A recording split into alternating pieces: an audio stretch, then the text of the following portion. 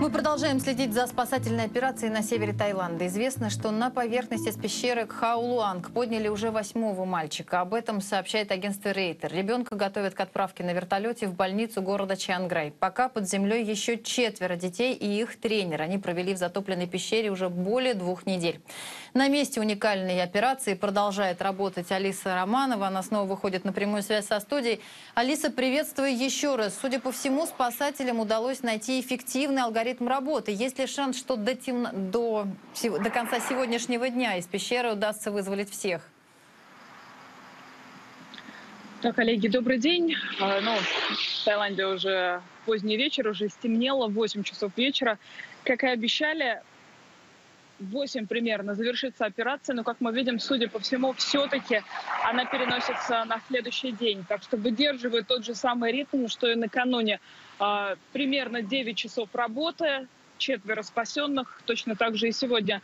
Мы помним, что накануне на 10 часов э, примерно вот на все ночные часы приостановили операцию для того, чтобы совершить необходимое, восполнить запасы а, воздуха по пути лабиринтов, сложных лабиринтов а, расставляют баллоны с кислородом, которыми и пользуются дайверы, помогающие а, мальчикам, школьникам выбраться из пещеры. Пока о том, что операция официально приостановлена, заявлено не было. Ссылаемся мы лишь только на анонимные источники, которые участвуют в операции. Дело в том, что журналистов еще накануне, как я рассказывала, э, накануне перед началом э, эвакуационной всей операции попросили не находиться близко с местным спасением, чтобы не мешать ни дайверам, ни всем принимающим участие в этой беспрецедентной операции. Так что вот ссылаемся только на свидетеля о том, что операция все-таки на сегодня приостановлена. Ну, наверное, это все-таки похоже на правду, несмотря на заверение э, официальных лиц, что э, ситуация складывается лучше, чем они, благоприятнее, чем они ожидали, и, возможно, сегодня все будут спасены.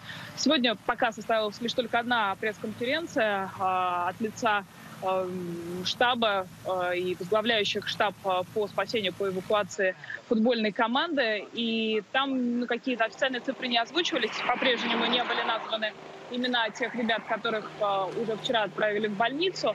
Но там опять-таки обратились к журналистам, которые ну, довольно активно пытаются получить хоть какую-то информацию, в том числе и некоторые используют вертолеты, дроны для того, чтобы наблюдать за э, тем, что происходит в районе э, спасательной операции. Мы видим, что практически всех сегодня вывозили на вертолетах, поэтому руководители спецоперации призывают журналистов не пользоваться э, такими опасными э, техническими средствами, чтобы не препятствовать безопасному э, безопасным полетам вертолетов, которые эвакуировали сегодня четверых, напомню, четверых мальчиков э, в соседнюю больницу. Те, кого э, вызвали накануне, чувствуют себя хорошо. Сегодня их по-прежнему не показывают, но их врачи рассказали, что те очень голодны и пока едят, приходят в себя и, наверное, им помогают психологи, поскольку 16 дней они провели вот в таком заточении, 10 дней одни, без какой-либо помощи и без надежды. Но здесь все, все молятся, все верят, что операция завершится благополучно. Так что, видимо, завтра утром э, та же схема будет повторена. Остается пять человек, четверо школьников и их 25-летний тренер. Все они пока еще, судя по всему, внутри. Следим за ситуацией. Спасибо. Алиса Романова продолжает следить за уникальной операцией по спасению детей из пещеры на севере Таиланда. Будем ждать следующих включений.